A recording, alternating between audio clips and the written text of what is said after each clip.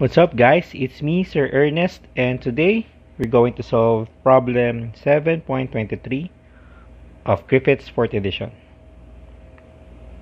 The problem reads, a square loop of wire of side A lies midway between two long wires, 3A apart, in the same plane.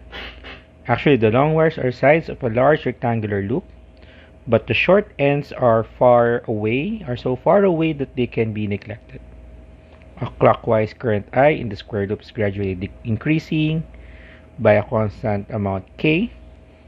So we find the induced EMF or the EMF induced in the big loop and we want to determine which way will the induced current flow. Okay so in this case we have as I mentioned as mentioned here that we have a square loop of side A.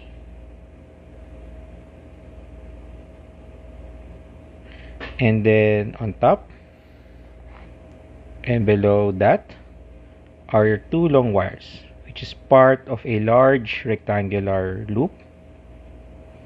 Okay, so we are going to consider this to be uh, infinitely long wire relative to this uh, square loop these two sides of this long rectangular loop will not uh, affect our calculations. Okay? Aside from the fact that it will help us determine the direction in which the induced current flows. So here the direction of the loop uh, the current in the small loop would be in this direction okay so what is now the current here and here. So we are going to do that by first setting that as mentioned here the derivative of the current in the wire in the square loop is constant and it is positive. Okay so we know that the induced EMF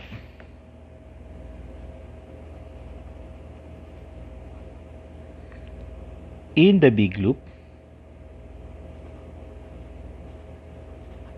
is given by the negative derivative of the flux on this wire on the on uh, flux on the wire on the large loop with respect to time. And we know that the flux is given by the magnetic uh, the mutual inductance M times the current in the in the small loop.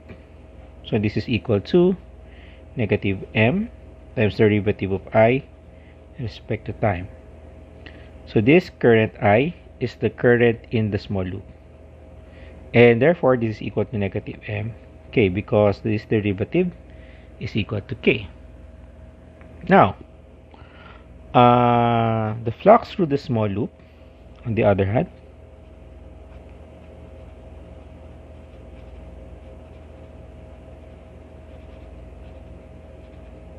Okay is now given by let's call it flux prime. And this is given is this is equal to m times i prime where i prime is the flux is the current induced in the big loop. Now the magnetic field due to the long wire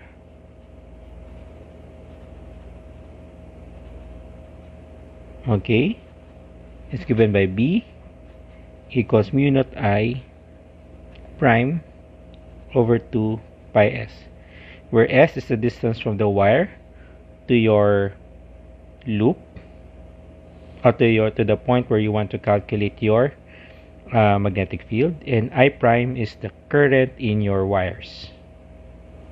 Because this belong this wire belongs to one big wire of, uh, that is looped. Therefore the current flowing in this direct in this wire is the same as the current flowing in this wire. Except that the direction of the current here will be opposite the direction of the current here and that will help us determine the overall current flow or the direction of the current flow. So therefore, the total flux through the small loop is uh, given by 2 times the current at the flux through the loop due to one of the wires. So let's call it 1 because the flux provided by this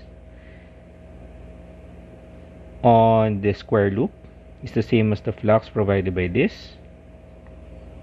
That's why we can add them together.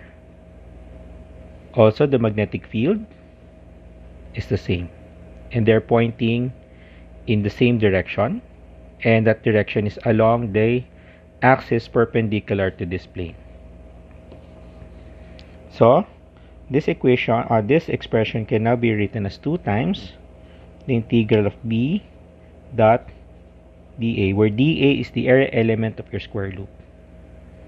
Okay? So this is done by allowing the current flowing through the big loop and the flux through the little loop is this one.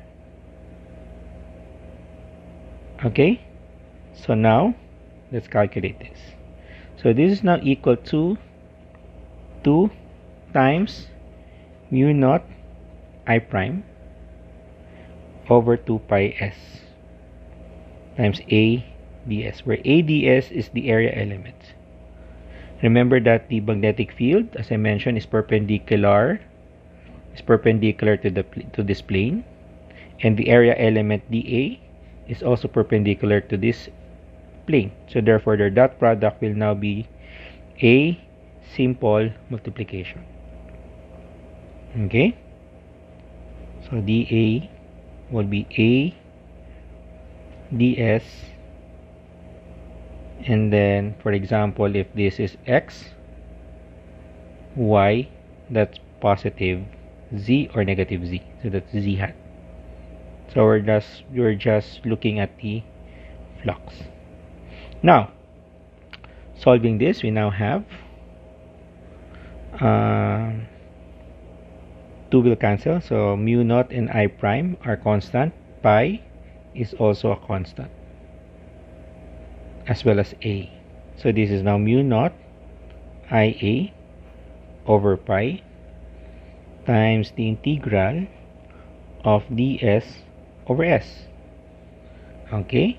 So that's from a to 2a for this side which is the same as from a to 2a from this side. So this is from a to 2a so this is equal to mu naught i a over pi times ln 2a over a. So that's ln 2 so this times ln 2 and this is equal to m i prime. And this is i prime and this is i prime. So therefore the uh, the mutual inductance therefore is equal to uh, mu naught a ln 2 divided by pi.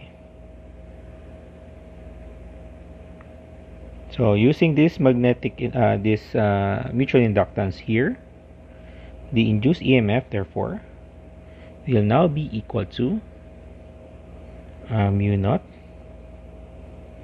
a k ln 2 over pi. So here we're looking for the we're just determine the magnitude.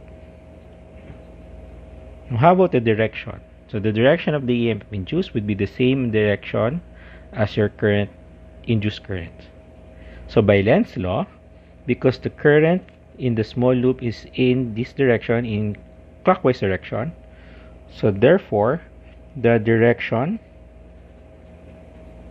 of the induced current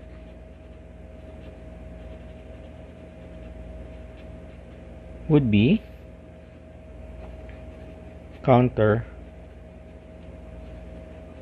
clockwise okay So if you're going to uh, uh, relate this here, so this wire will now have a current in this direction. So let's call it current I prime.